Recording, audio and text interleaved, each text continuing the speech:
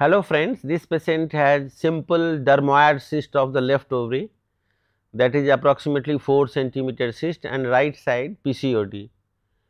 So, we are using supraumbilical port that is approximately 5 centimeter above the umbilicus, a stab wound is given and then Veress needle is introduced inside the abdomen.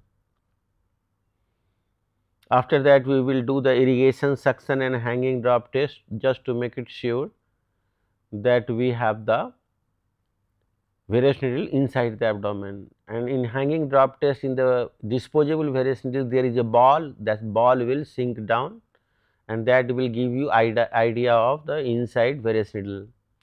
Now, insufflation is started. Here we are using the preset pressure of 15 and we will wait till the actual pressure reach to the 15 and for that minimum amount of gas required is 1.5 liter and maximum is 6 liter depending upon the you know the size of the patient, bowel preparation, muscle relaxation and the parity. So, we can see homogeneous distension of the abdominal cavity is started and slowly slowly double digit is coming and now preset pressure is reached to 15. Once it is reached to 15, we will take the Veress needle out and then we will enlarge the incision to put the optical port. So, now Veress needle is out and with the 11 number of knife we are enlarging this wound either side to make it 11 mm. And now this optical trocar will be introduced and that we are using reusable optical 10 mm port. And once this port is introduced you will get a hissing sound with the tip of the trocar we can see here hissing sound is started and then trocar will be introduced and taken out and then the telescope is introduced inside. Here we will use two ipsilateral and one contralateral port to perform the surgery and first step is all the small bowel has to be moved up above the aorta just patient head is 30 degree down. So, we can see the entire bowel is moved up. Now, we can see here this is the abdominal aorta visible. This is aortoiliac axis.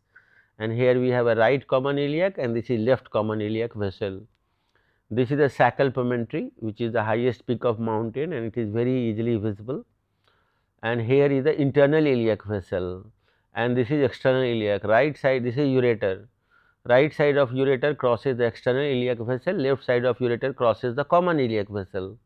So, you can easily identify the ureter and if you will push the telescope in the ovarian fossa you can see the entire course of the ureter which is coming into the and going towards the you know bladder.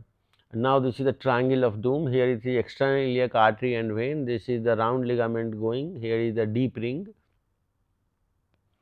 And uh, this area is the triangle of pain. And here the GFN that is genital branch of genitofemoral nerve which is the most lateral part of the female lateral wall pelvis. Here we can see this is a medial umbilical ligament and this is inferior epigastric vessel of the right side. And here we have the deep ring. If hernia is there, it will be indirect. If it is here, then it will direct. Here this is the Cooper ligament area and this is the medial umbilical ligament.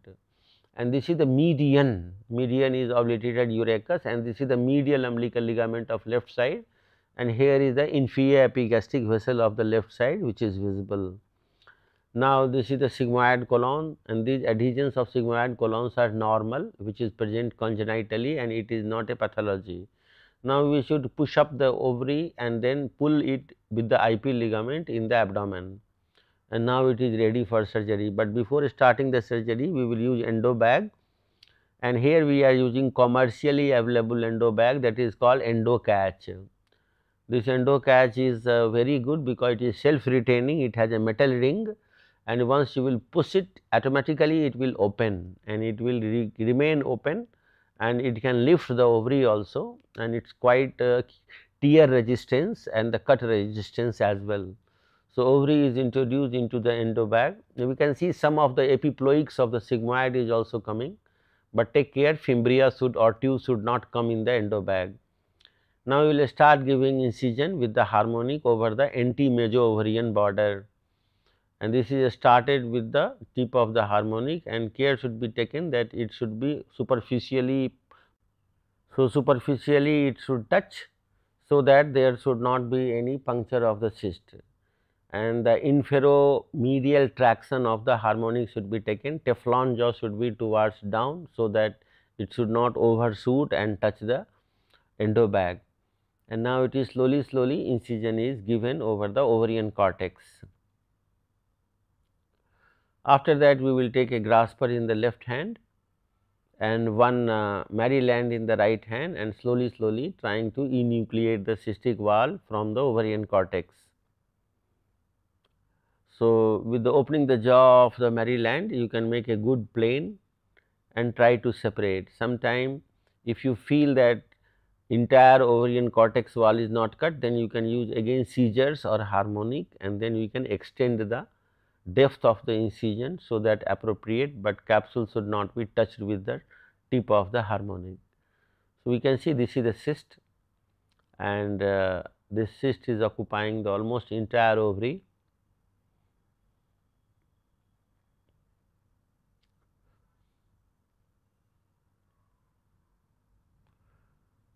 And now again we will use Maryland and slowly enucleation will continue.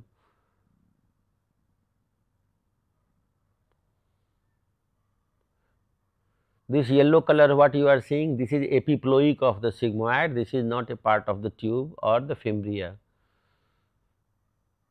So, this is a band you can see which is coming in the way which is crossing over the cyst. So, if these type of bands are there then it is better to cut it again with the harmonic and ideally we should try to keep the convex edge of the Maryland towards the cyst. that ovary should always remain in the endo bag because in 60 percent of the cases of the dermoid when you will try to separate it, it will puncture and that spillage should be inside the endo bag. It should not contaminate the abdominal cavity. Now, here again it is a harmonic which is cutting this band, so that further enucleation will continue.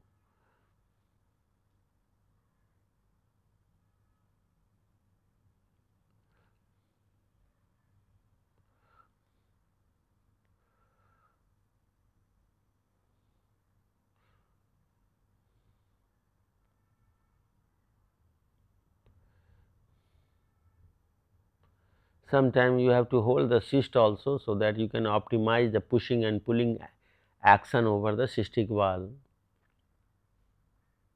This little bit oozing you should not try to use any energy because this will stop itself because those are not the bleeding those are just the oozing and that does not need to give any attention because excessive use of the current is not a good idea to do for the ovary because that can you know create the follicular damage. So, we are holding it and trying to separate. Holding the cystic wall you can see already it is punctured. As soon as it is punctured immediately we will stop surgery, suction is introduced and first is to suck all the fluid and suck the endo bag also. So, that the fluid should not go all around. You can put the suction inside the uh, cystic uh, cavity and you can suck all the fatty material or hair sometime hair will be there sometime nail or bone also is found in the dermoid cases. So, it is empty now because suction has sucked all the fluid which is inside the cavity. Now, it will be very easy to hold because already it is collapsed. So, now it can easily be held and then you can further continue to take the entire cystic wall.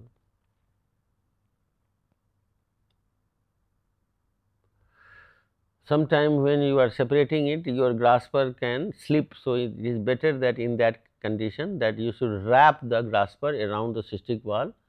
So, that it will not slip and traction can be optimized. This wrapping technique is good because it will hold it better and we can see entire cyst is out. After that you will examine the cyst cavity again for any residual dermoid or any second cyst and just this way you can open and we can see there is no cyst nothing is there. This bulge you can see is for the ovarian ligament that bulge is there. We can see this side and here this is ovarian ligament. So, do not worry there is no any cystic remnant and entire ovary is without any cyst. You can push it to the ovarian fossa and after that you can close the endo bag and it was very a small cyst. So, directly it will come out. You do not have to worry about and uh, This endo bag has a purse string. So, once you will close it mouth will close and easily it will come out. We can see there is no bleeding absolutely everything is fine it is dry. So, excessive electrosurgery is not required. Now, we will do the ovarian drilling of the right side of the ovary. Now, this is the ovarian ligament we are holding and this is PCOD needle. Polycystic ovarian drilling is better to do by PCOD not by hook because hook is L shaped and that creates some burn over the surface. Take care of iliac vessel because we are resting the ovary over the psoas muscle. So, be careful that your PCOD needle should not uh, overshoot and um, prick the iliac vessel. So, generally 4 pole should puncture 40 watt current should be used 4 millimeter depth only you should puncture. So, minimum 4 maximum 8 you can give depending upon the size of the ovary. So, this ovarian drilling is over and you can see fluid has come out. Now, we will do little suction irrigation so that it will clean any of the residual content if it is spilled out and we will leave some fluid inside also. So, that there will be no adhesion. So, after irrigation you will suck the cul-de-sac and then we will leave some of the fluid inside. So, that adhesion will not happen and now the it is must that the port which you have used for the removal of the dermoid that is 10 mm. So, it should must be port closure. So, here we are using the cobbler's needle for the port closure and that will be pricked with the vicryl number 1 and it is pricking except a skin all the layer will be taken and you will prick the this suture and after that from other side again you will prick and you will take this suture out. So, this is very easy to do the port closure with the cobbler's needle and uh, there is a small thread in the cannula. So, we have to be taken care when we clean the cannula by the sponge sometime this thread, but you have to take care this thread should not enter into abdominal cavity. If it is entered you should pick it up and take out. So, now this is cobbler's needle from other side and again it is holding the same vicryl and it will be taken out and then you will tie outside. A skin has to be closed separately. So, this is holding and it is taking out. So, this is a very simple case. Thank you very much for watching this video.